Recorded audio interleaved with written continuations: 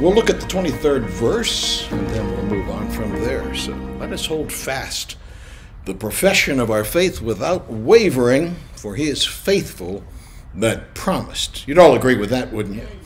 He's the faithful one. When he gives his word, it's immutably unchangeable. So uh, let us follow him in that pattern of faithfulness. Let's be faithful without wavering. No reason. Uh, of course, the devil is all about doubt, and he sows doubt all the time in our hearts because he's the God of this world. So there's a lot of depressing things surrounding us. Um, and as a result, it kind of brings the spirit down. And uh, you and I have to uh, live above that. So greater is he that is in us than he that is in the world. So we're to hold fast the profession of our faith without wavering. Now, agreed, uh, there are passages in the scripture that seem to lay all the responsibility of our salvation on ourselves, keeping yourself in your most holy faith, Jude says. This passage seems to though, be as though we must hold on to our faith. You know, let us hold fast the profession of our faith without wavering. So, you know, this is uh, the obligation seems to be, and the onus seems to be upon the believer keep himself saved. But in fact, we realize that it's the keeping power of the Holy Spirit. He's the anchor of the soul. We've seen that on so many other occasions. So this is, uh, so to speak, the other side of the two-edged sword. So there are places that speak uh, of uh, the security that we have in Christ. Uh, we can go to so many places on this. We're in the Father's hand, and no man shall be able to pluck us out of the Father's hand. But in this case, it seems as though we're supposed to be holding on to God. I've always illustrated it with a little infant. A little infant, um, well, you hold on to that baby like, well, of course, nothing more important than that, uh, the way we hold on to our little babies. I can remember my dad taking uh, my younger, younger, younger sister, and uh, he would pick her up and say, sack of potatoes, and then pick her up, you know, on the shoulder and so forth, and uh, she'd just squeal with joy. You know, there's nothing like the embrace of a daddy, right? And it's a shame they grow up. That's my view. I mean, we should keep them right where they are, right? Five is fine with me. But at any rate, so uh, now who was holding whom? We, was, we would think, well, of course, the father's holding the child.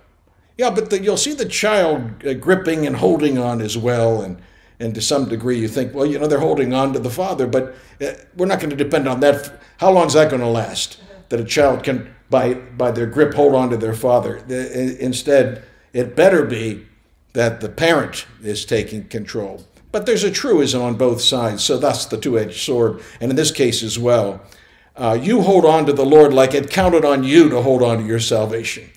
Uh, all the while understanding that uh, it's uh, He is faithful that keeps us.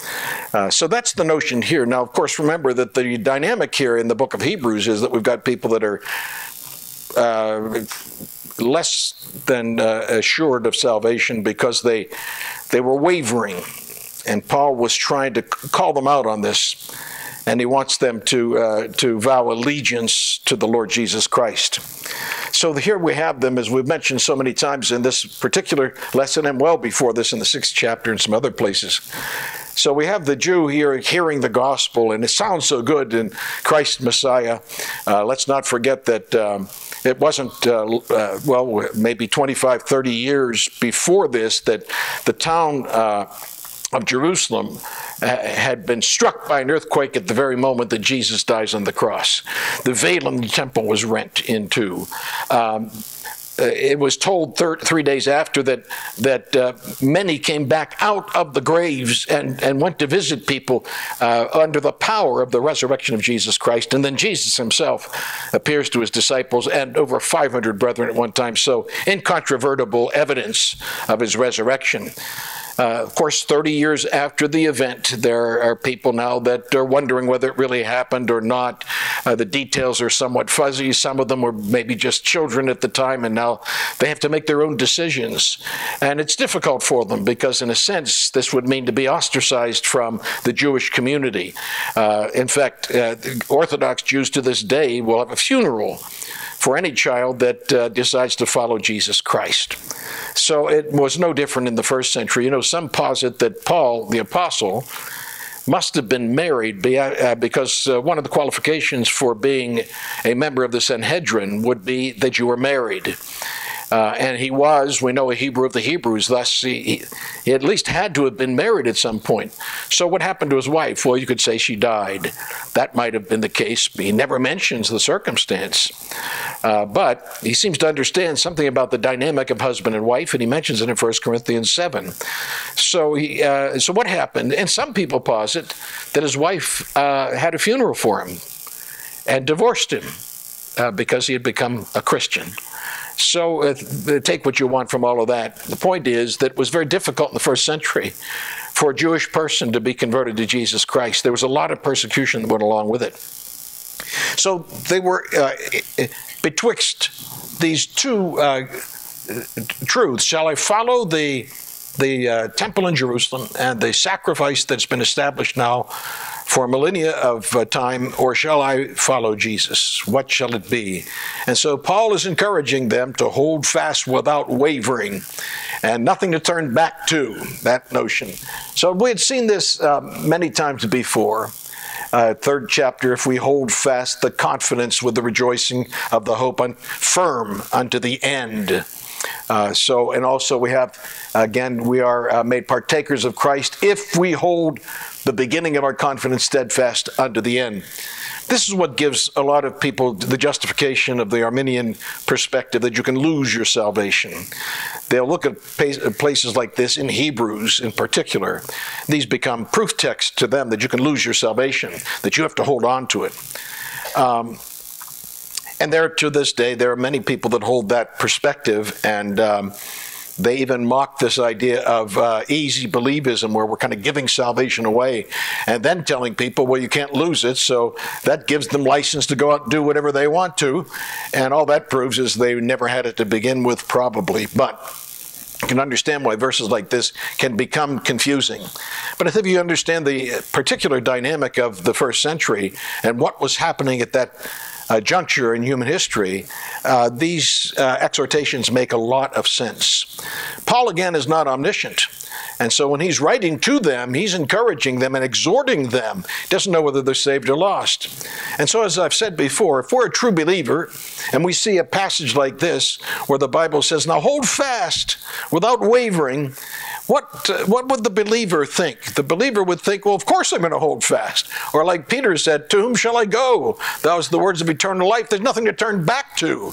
Uh, we would know sooner turn back uh, to the world than uh, uh, Lot's wife that turned back to Sodom and Gomorrah. I mean, we, there, there's our illustration, right? Why, we, we would would no no want uh, to be anywhere compared to that kind of uh, rebellion. So Clearly, we hold steadfastly and firmly, confidently, all the way to the end. And that's, that's what believers are about. Again, Paul is trying to move these people that are in the middle and that are fence straddlers. And there's no place for fence straddling. Jesus doesn't allow it, as a matter of fact. Either you're for me or you're against me. We think of the uh, dramatic scene on Mount Carmel. You know, you go uh, up there, and we've got the the scene is set. There's apostasy in Israel. And Ahab and Jezebel, that harlot wife, uh, have uh, now uh, set up as the national religion idolatry and people worshiping images and bowing down to statues that have no power. Elijah's had enough of it, and it was time for a contest. A day of decision had to be had, and so uh, mount up to Mount Carmel. He says, "Let's prove who the true God is today." And you, you know the story so well. You can read about it in 1 Kings, it's chapter 18. But Elijah came unto all the people and said, "How long halt ye between two opinions? If the Lord be God, follow him, and if Baal, then follow him." And the people answered him, and this is incredible to me. They answered him not a word. so they're mute. Uh, uh, this has to break the great heart of God.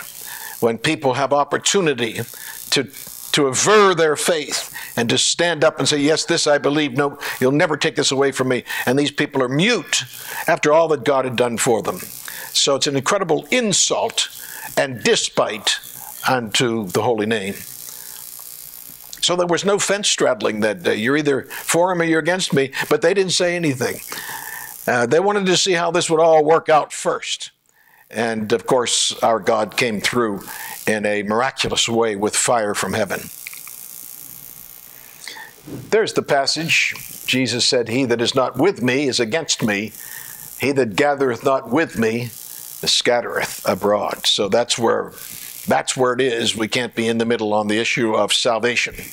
So we want to be uh, we want to be firm in our belief. And so Jesus made it very clear here: you're either for me or you're against me. I can remember back uh, 9/11. Uh, so we remember that day. I mean, that is that burns in our psyche. Where were you when you learned the news about the twin towers falling? And I can remember George Bush, our president, uh, he stood up with the megaphone. He said, The people that brought these buildings down, they're going to hear from us. And everybody standing up and cheering. And it sounded like a great idea, right? The only problem was that he was good and close friends with the House of Saud. And there were 19 of the attackers were Saudi Arabians. So it would seem to me then that it was time for us to pledge allegiance to the United States of America and cut out Saudi uh, money and gas and oil and so forth. And it sound like a sound to me like if you're either for us or you're for the terrorists, which, which side are you on? Saudis, of course, were on both sides. They were fence straddlers, financing the whole evil agenda at the same time with our money. I mean, it, it was really an incredible time there. And of course, what did we do? We went to Iraq okay, at any rate, uh, go ahead, try to understand all of this political theater. I can't wait for the great day of judgment when all the secrets are finally come out. And we find out who was paid off and who was getting money from this person and that person, how all the evil machinations of a very lost world come together to bring about wars and rumors of wars. Uh, but uh, Jesus is coming. And when he comes, he'll straighten this matter out because he's nothing but truth, absolute truth. And we'll find that there'll be no uh, in betweeners at that point. So I hope you're on the right side tonight, are you? All right. So hold fast that which is good, we're told in uh, 1 Thessalonians 5. Cleave to that which is good, hold fast that which is good. We fight the good fight of faith, lay hold on eternal life. Okay, so you hold on to it like you, it was like having what? A bag of gold in your hand. How would you how would you clutch it? Right? You'd hold it like that. You're not going to let anybody take that from you. This is far more important. Lay hold on eternal life, whereunto thou art also called, and hast professed a good profession for many witnesses. So, uh, uh, throughout the uh, pastoral epistles, and again in Timothy, we have Paul encouraging him hold fast uh, holding faith and good conscience, which some having put away concerning the faith have made shipwreck, holding the mystery of the faith in a pure conscience. Uh, so this is something that we have to check ourselves every day on because you know the devil does his work uh, in, a, in, a, rather deceptive manner and comes in little by little, eroding the faith and uh, does what he can. Anybody here ever have termites? In your house. Oh, anybody have termites? Nobody's had termites. Oh, okay, good. They uh, do their uh, good. I mean, at least I have somebody that understands the illustration. And what happens to the termite? The termite comes in uh, uh, stealthily. You don't even know he's at work. You can't hear him. But meanwhile, he's chewing out the base plate. You know, where the foundation ends, the cement block ends, and there's a plate on top of that. And, and then the superstructure is built on the plate and uh, and they go for the plate. So they come up out of the ground, they worm their way in somehow. They even get through brick or whatever is out there on the exterior, and they get through to the wood, and they just start eating away the first six inches of your building. And of course, now the whole building structure, if they get their opportunity, is uh, ruined, and the superstructure is in jeopardy at that point. Well, the devil works the same way. He works to erode the foundations, and that's why it's critical in all these epistles that we read. Uh, and especially when we come to the end there with Jude, he kind of gives that final punctuation, you know, in that one chapter where the believers are encouraged to earnestly contend for the faith that was once delivered to the saints. And believers are to hold fast the foundational truths And we're watching the evangelical community now, little by little, you know, they erode these things. And this is not, not that important that we teach eternal damnation, not important that we have a verbally inspired scripture. And they go on and on with this. And this uh, is a very dangerous proposition and is what ultimately leads to great apostasy. So uh, believers are challenged in this, and you and I now, as we're getting older, have to pass the baton to the next generation. That next generation has to be uh, thoroughly grounded, rooted, uh, and uh, will not be moved from the things that they have learned, knowing of whom they've learned them. That makes a big difference too.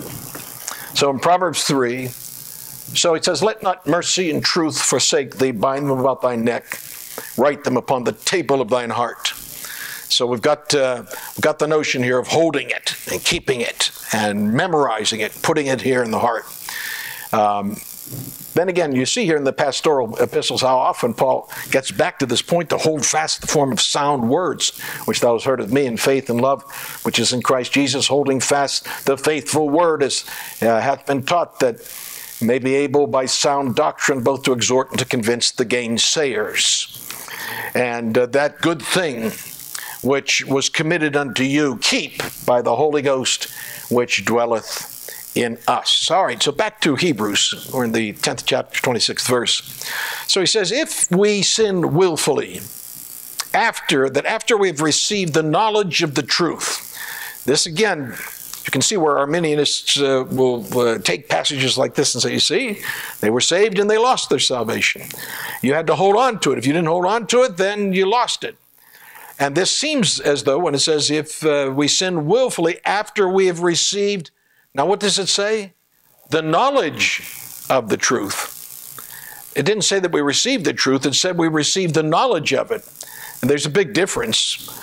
The difference is that, well, almost every week we have unsaved people that come in here and leave. They don't come back, but they come in and they heard the word. They received the knowledge of the truth and they could have done something with it.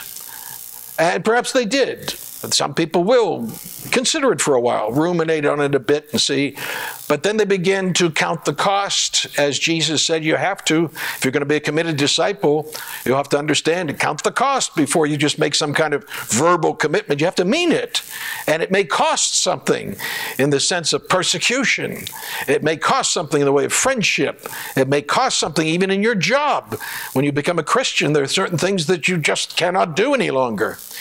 And uh, well, if we sin willfully after we receive, have received the knowledge of the truth, there remaineth no more sacrifice for sins.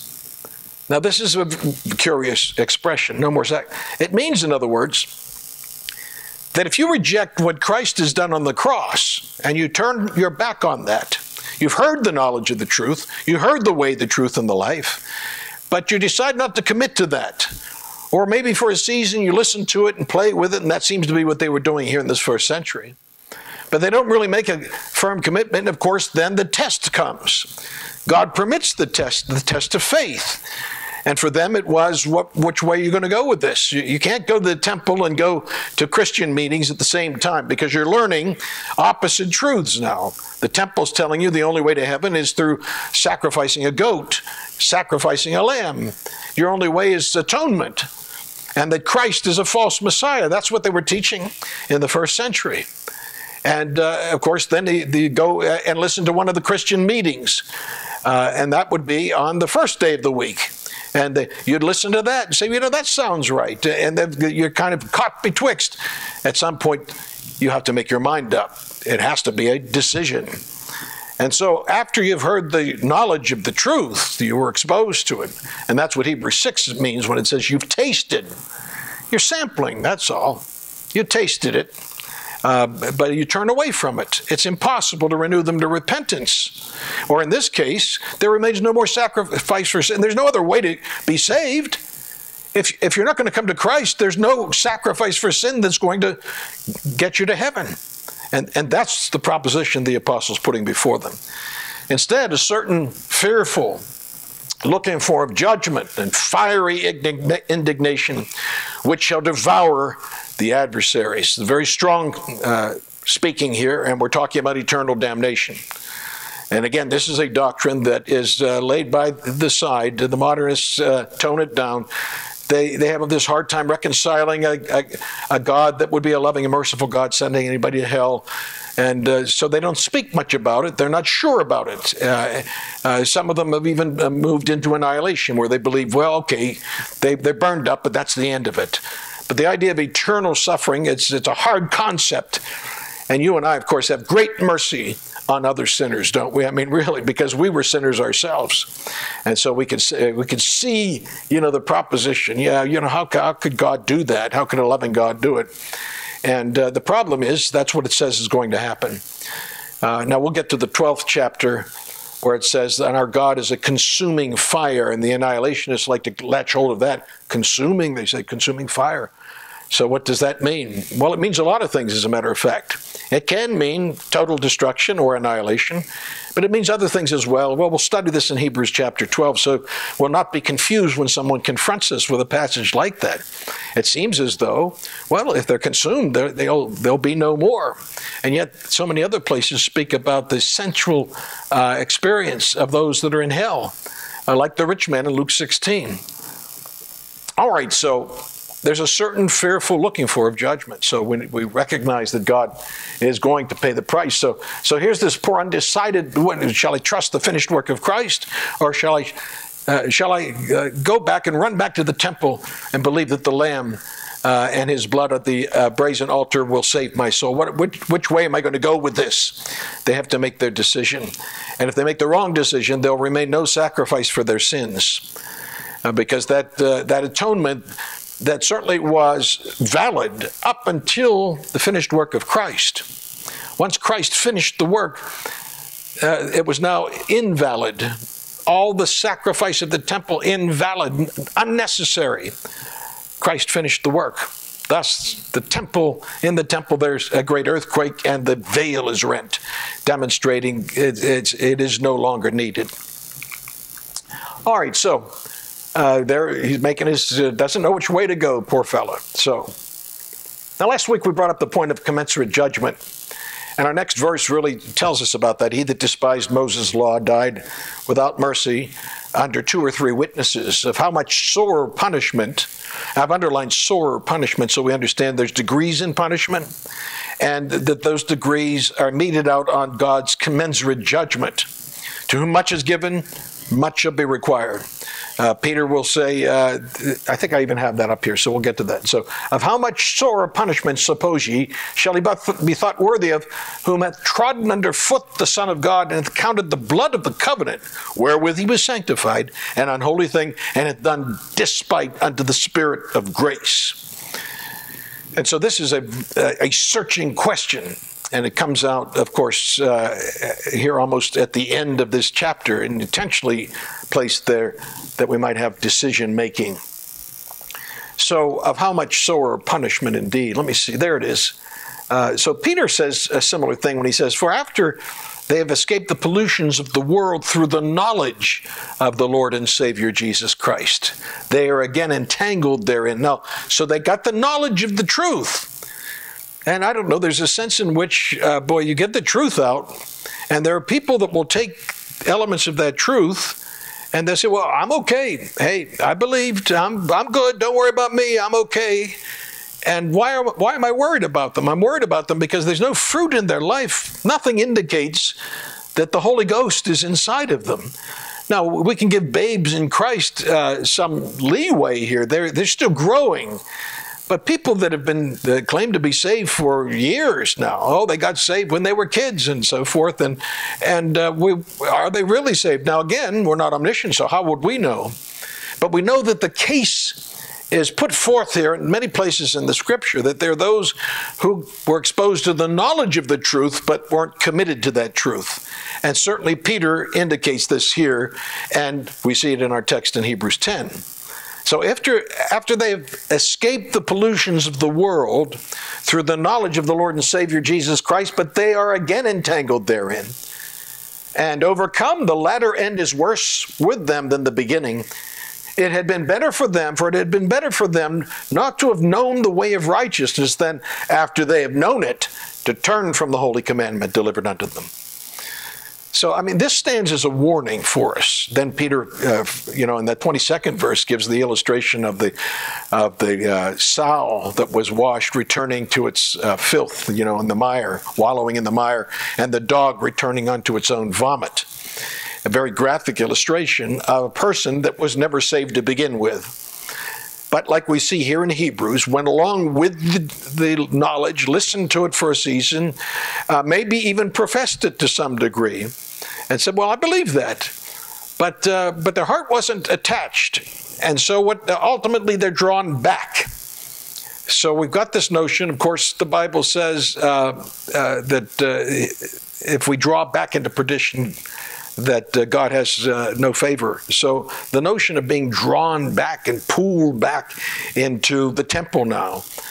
I mean, it would be the same in a sense. A person is a Roman Catholic, raised as a Catholic, hears the truth and understands now what a difference this is. I mean, it's like a whole new world, and you begin to understand what the truth is. Your eyes are opened.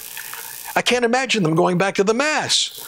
Uh, why would they go back to the Mass when they realize the work has been settled and, and, and so on? Why would they go back to confess to a man, in some cases a pervert, uh, in a closet and tell him your sins when there's only one to tell the, your sins? Once you've known that truth, why would anybody turn back to it? Well, the answer has to be that they never really embraced that truth. Uh, they thought on it for a while. They, in some way, even perhaps it catapulted them to certain victories in their life. Uh, so many places uh, that have the 12 um, step program.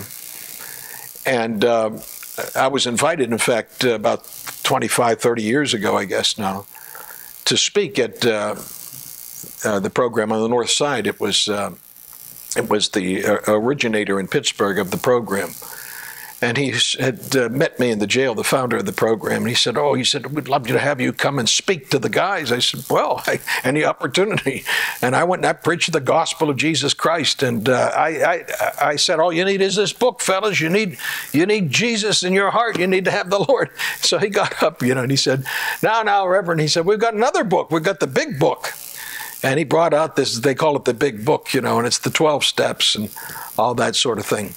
So you see, there are people that are exposed to an element of the truth. Uh, and there's an element of truth in the 12 steps. You've got to hit your knees every day. You've got to acknowledge a power greater than yourself, that sort of thing.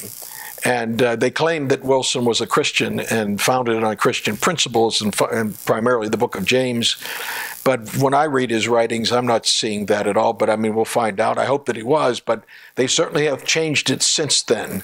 And now it's, you, you know, your teddy bear can be your higher power. Uh, you can have a tree or a plant in the backyard and you go to pray to it or whatever it is. And so, as long as you hit your knees every day. So, it, it's a form of godliness, but it denies the power thereof. So that's the notion. And Peter brings this out, I think, in full light here when he speaks of it. It had been better for them not to have known the way of righteousness than after they have known it to turn from the holy commandment. Now, this doesn't frighten any true Christian that we would look at that and say, well, maybe I'm hearing too much.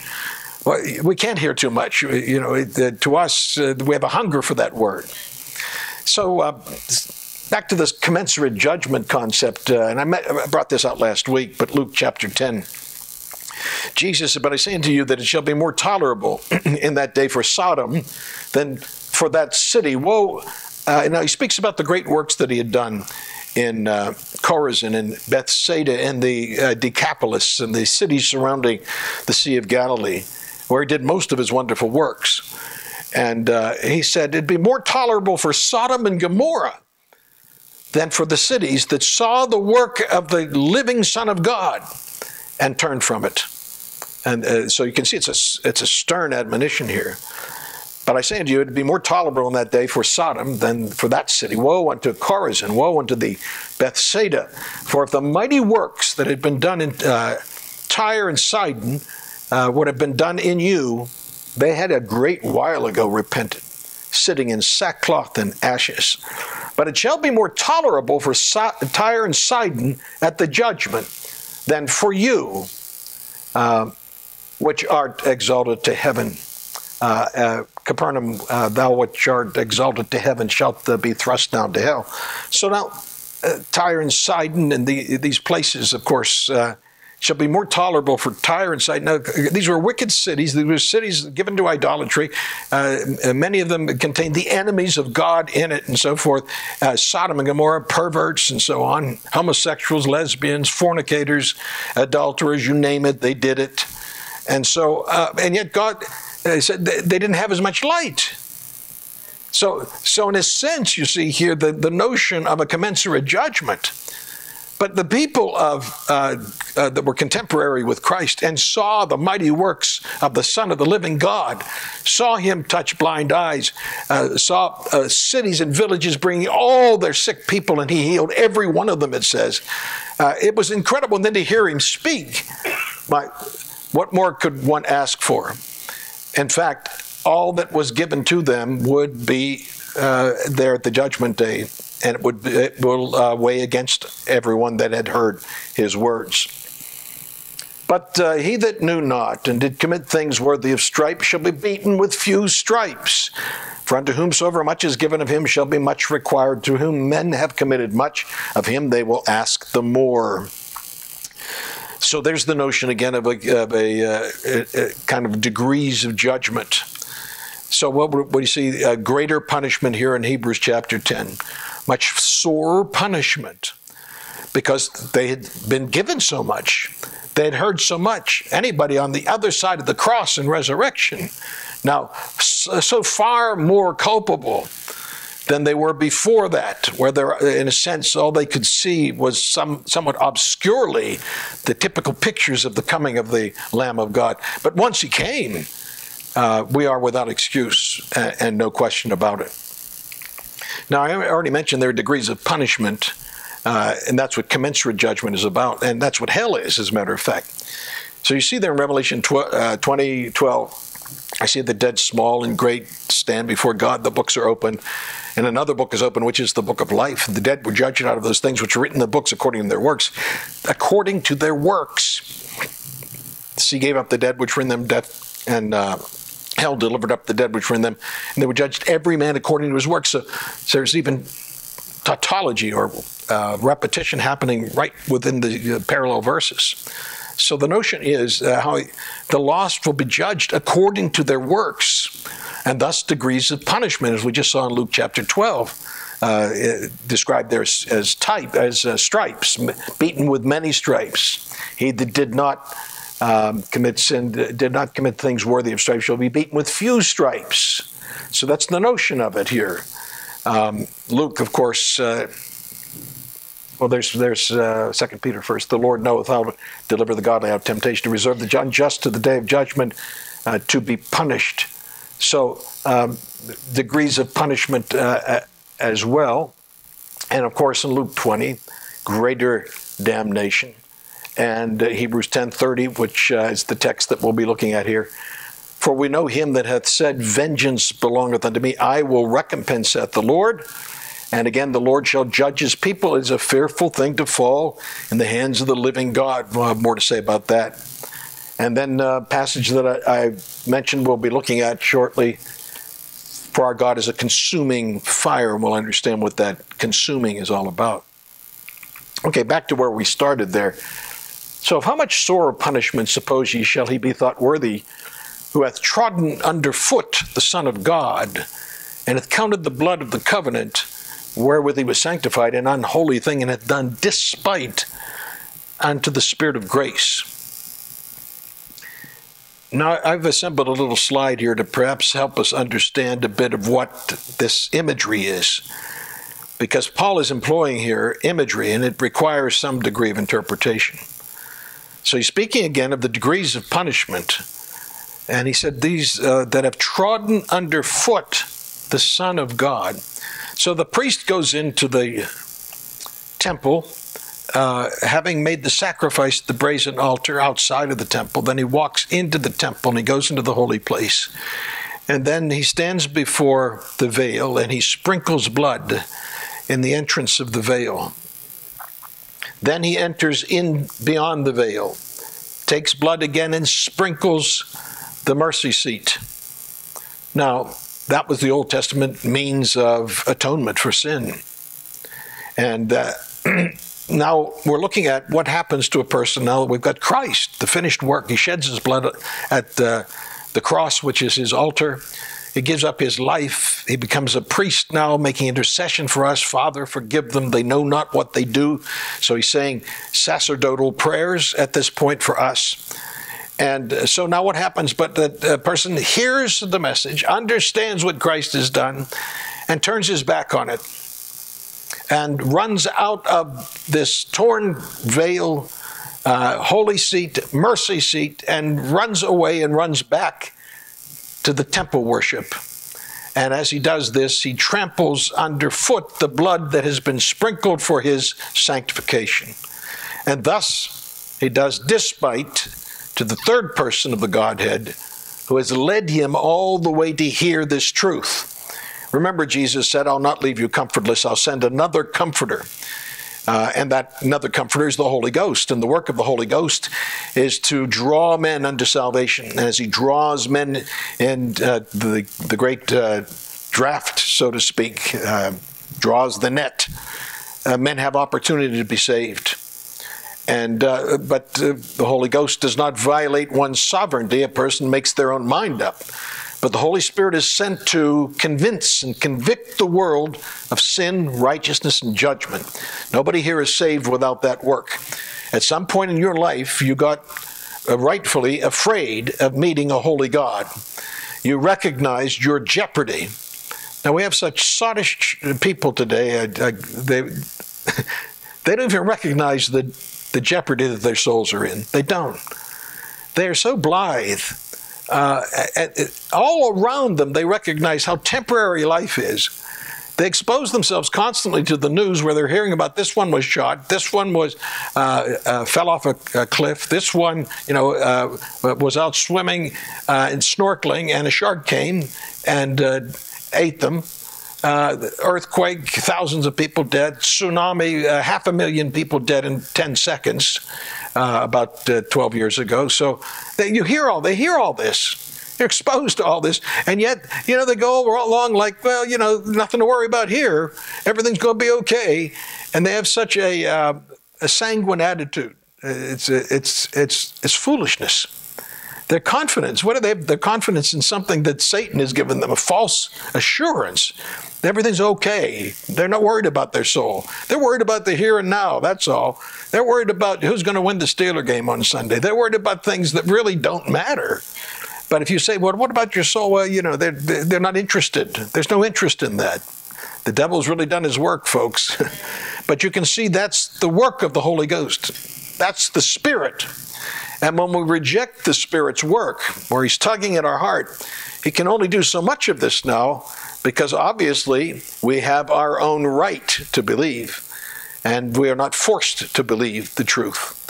And there's this, I, I, is it a dynamic equivalence in some cases where, you know, Satan is able to pull on one side and the Holy Spirit on the other? You know how oftentimes you see the good angel and the bad angel, you know, on a person's shoulders, and there seems to be, and you're in the middle in this tug of war almost. So there might be some sort of uh, equilibrium that's involved in good and evil. Uh, but so much so that neither one, the devil nor the Holy Ghost, can force a person to follow them. That person stands sovereign in the middle of it, making his own or her own mind up. It'll be their decision.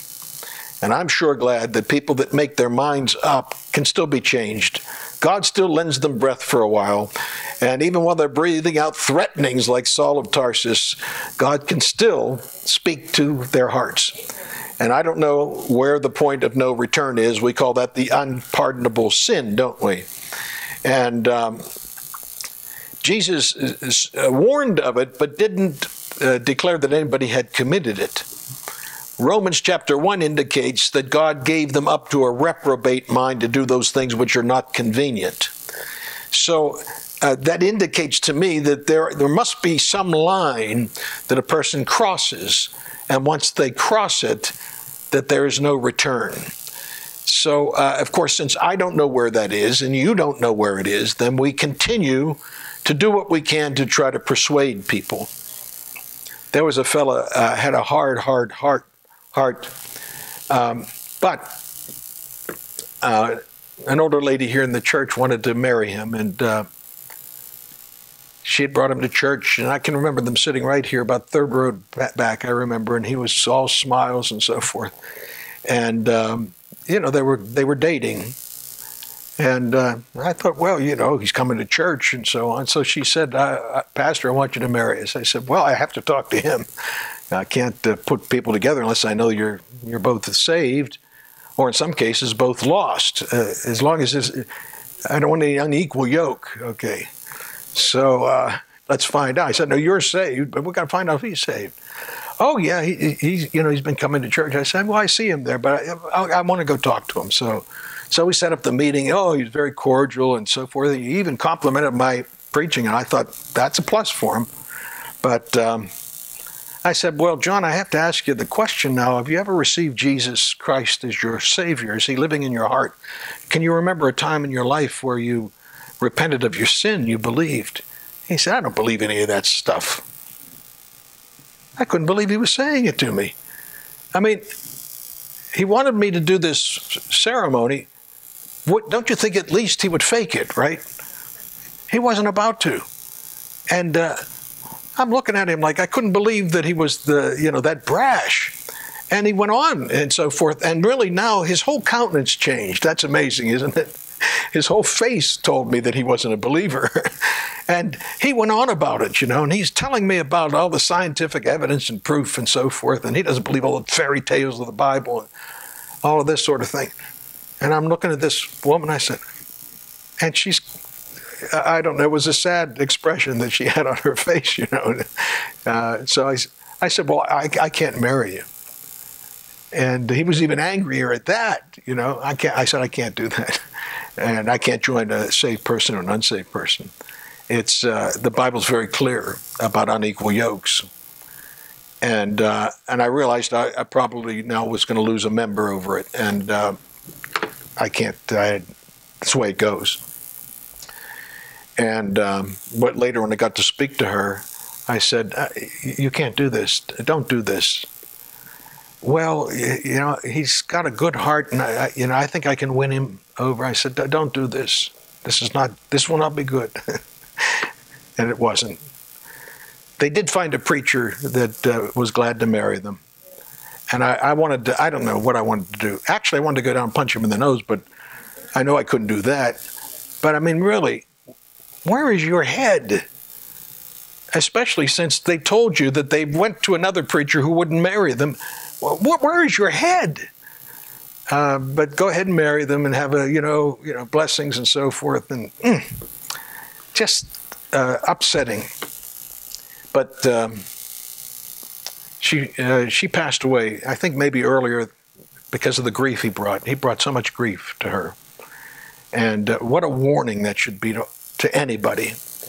And uh, but he lived on for quite a while after that, and it was miserable as could be. Before she died, she said, "Don't give up on John." I said, "I promise I won't." So uh, I went over and would visit him on a regular basis, and uh, everything was congenial until I would bring up the gospel, and then he just that same face would come on him, and you could just see the hardness. There was no way of getting to him. I got a call that he was dying and went down to McKeesport Hospital to see him. And uh, it, it, was the day of the Kentucky Derby. Talk about a, a lot of fanfare and nonsense that goes on for three minutes of a race. It's you know it, it, it's amazing to me that people get all excited about horses running up. I wonder if the horse even understands what he did, right? But at any rate, it was on and he's watching it. He's dying, but he's got his eye on that Kentucky Derby. And I came down to see him. I said, John, I'm here. He said, This is the most important part. I said, Oh, okay. So I sat down with him, you know, to watch the exciting. First of all, you had to hear uh, the old Kentucky home. Um, so they sang that, and all these women have these hats that are out like this pitied the guy that was standing, sitting behind. But at any rate, they're all finally, you know, they're off. And they're and the, the guy, you know, oh, you know, you know, the horse is doing it, horse is doing that, and they they get a winner at the end of all of it, and so forth. So finally, it's all over. I said, "Well, John, you know, could we turn the TV off? I, I want to talk." He said, I, "I don't want to talk about religion. We're done talking about religion." I said, "Well, John, you're dying. You're you're about to face God and go to hell." I don't believe any of that. Can you imagine? He's dying. He knows he's dying. And he died, I think, two or three days after that event. Last opportunity that the Holy Ghost gave him to be saved. And he blew it away. Now, I don't know, and I'll never be able to know, the great mercy of God. Could it be maybe the last dying breath that he might have reached out to Christ? He knew what to do, he had the knowledge of the Lord Jesus Christ. Well, maybe he did. That'd be a great surprise. It'd be a welcome, happy surprise if I saw him in heaven. And I think he'd probably thanked me then. Um, but we'll see. So he that despised Moses' law died without mercy under two or three witnesses. You know, the law, um, it was unchangeable, immutable, the law of God. Some might call it harsh and uh, is severe. You picked up sticks on a Sabbath day, they stoned you to death for it. You uh, disobeyed your parents, you blasphemed. They, you, it was a capital crime.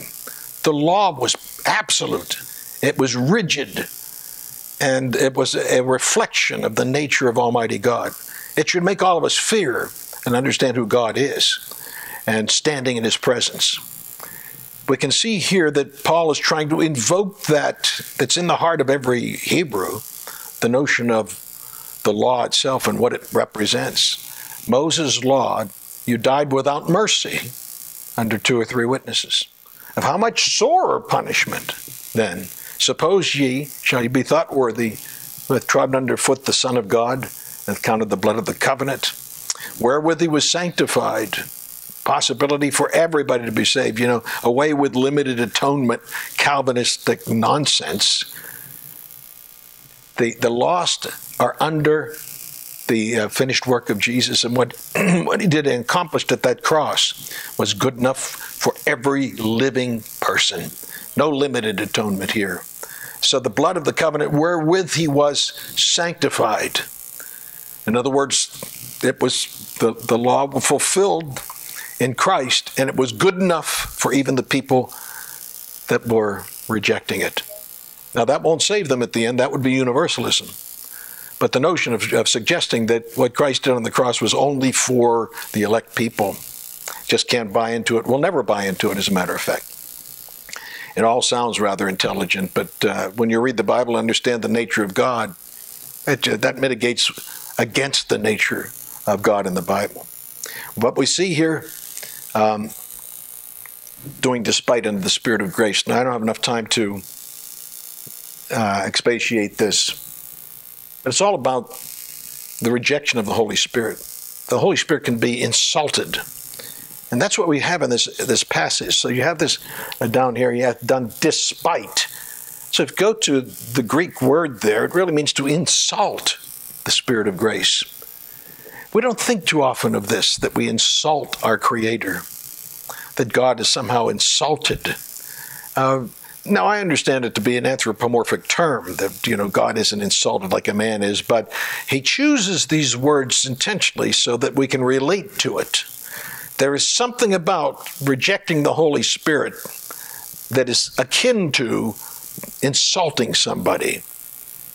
So one can only imagine offering this, this uh, invitation for sinful people to have all of their sins blotted out, and then for a person to reject it and say, I don't want anything, I don't want that.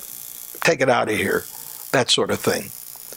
So we want to keep all of this in, in mind and in view of what these people in the first century were doing. Now, maybe next week we'll go a little bit further into the blasphemy of the Holy Spirit so we don't confuse and uh, we certainly want to understand what Jesus was teaching about, again, in Matthew chapter 12, where he speaks of this uh, a sin that cannot be forgiven. and what this line may be. And it's, there's too much detail to give it in the last minute or two. So, so let us pray, Lord. And we thank you that the Holy Spirit was real in our lives. and we sensed that time that He came and He drew us with cords of love and mercy. He uh, spoke to the heart, he convicted us, even brought a certain degree of fear. We were intimidated by the thought of standing before a holy God and trying to defend ourselves. Uh, we were made aware of what sin was, and we seemed to understand it, and uh, were inbred with a guilty conscience. So we thank you for all that, Lord, that ultimately led us to that point of true conversion, where we gave up our own selves to you.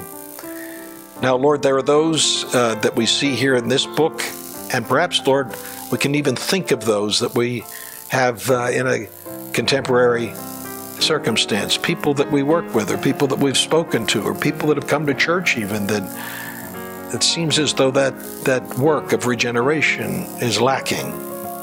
And so, God, we just pray Pray, Lord, that we'll continue faithful in giving out the word, living that word, so that we are a viable witness.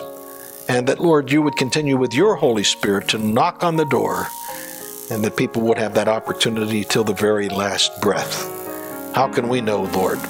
We know that your mercy is greater than anything we've ever understood or partaken in as humans.